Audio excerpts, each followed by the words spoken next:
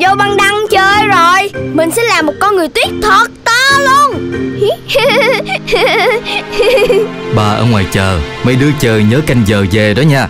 Dạ. Dạ.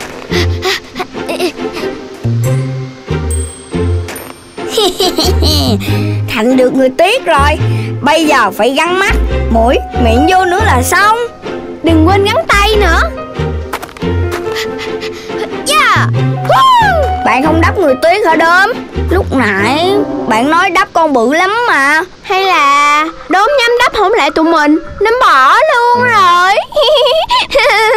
Tại mình không thích đắp thôi Chứ muốn mình làm được cái ào xuống liền à. Được không đó? Gần tới giờ ba đốm rước rồi đó. Trời ơi Chuyện nhỏ. Coi mình nè Xong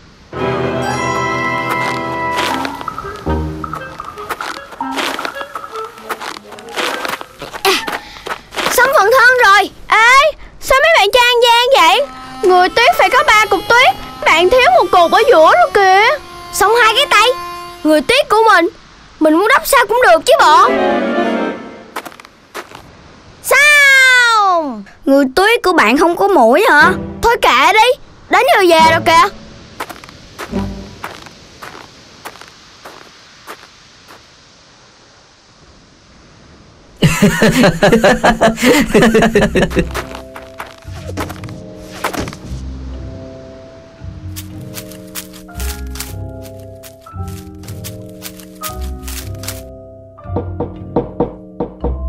Ờ, ờ?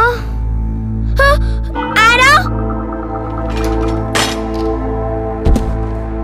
À, ông người tuyết ơi Sao ông tới kiếm con về này vậy Con có làm gì ông đâu Người đắp người tuyết mà cẩu thả Thiếu thân, thiếu mũi Làm ta bị chúng bạn chê cười Cô có biết hay không Nhưng mà con nghĩ Đắp người tuyết là chỉ chơi thôi mà Làm chuyện gì dù chơi hay thật thì cũng phải làm cho tới Thật chu toàn Nếu cứ bỏ giữa chừng thì sau này lớn lên Mọi thành quả của con cũng đều qua loa Hỏng hóc vì đã quen bỏ ngang Không làm cho tới nơi tới chốn Dạ Con biết lỗi rồi Con sẽ đền bù cho ông